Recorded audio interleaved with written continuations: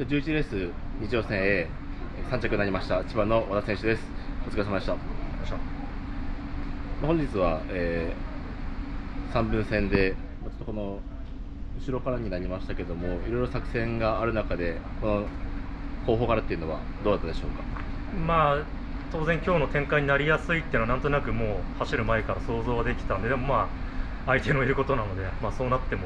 まあ、なんとか打開できるようにっていう話は3人でしてたんですけど、まあ、結果それがその形になったんですけど、はい。まあ、あなった以上はもう引くは引くことはなく。そうですね、まあ、引くよりはまあ踏め、まあ、外にいながらまた踏めれば踏むしもう上がペースが上がってしまったらそのままそこでっていう話でしたね。はい。実際あのまま見合ってで、えーまあ、和田選手が一角で降りてから慎太郎さんを2日あたり迎えた形になりましたけどもあの辺りはどうだったでしょうか、まあ、先に古生君がもう引いてたのでそこだけ、はい、僕だけ、まあ、先に内外戦艦に降りれたので、まあ、慎太郎さんがあとは山岸君を見てどうするかだったんで、まあ、慎太郎さんもさすがにちょっと山岸君がきつそうだったんで降りてきたので、まあ、そこを迎え入れる形になってあとは、まあ、どうするのかなっていうのを見てましたけど。で、まあ、慎太郎さんと一緒についていけばっていう形だったところ、はい、アクシデントがありましたけども、はい、あの辺りっていうのは足とかも大丈夫ですか？そうですねはい。大丈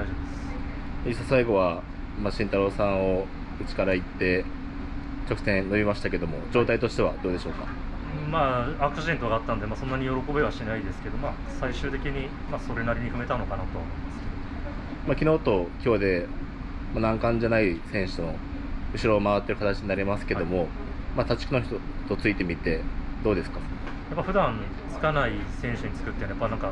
いい意味で刺激が入るなって、まあ、こういう走り方するんだろうなとか、まあ、そういういい勉強にはなりました、ね、それは逆にも次敵になったら参考になるような形。まあ参考になるかわかんないですけど、まあ、味方にこういう走りができるとかっていうのは、うん、まあ言えたりするのかなと思います。今、2走してですけども、状態面としてはどうでしょう？か、この暑さもありますけども。そうですね、まあ、やっぱ暑いのがちょっと僕は苦手なので、まあ、なんとかしのいでる感じなんで、まあ、あと2走ですか。まあ、なんとか、あの自分の力を出し切れればいいかなと思います。わかりましたでは、えー、最後に準決勝、その後に向けて意気込みをお願いします。はい、えー、あと2走、しっかり頑張ります。ぜひ、車検買ってください。よろしくお願いします。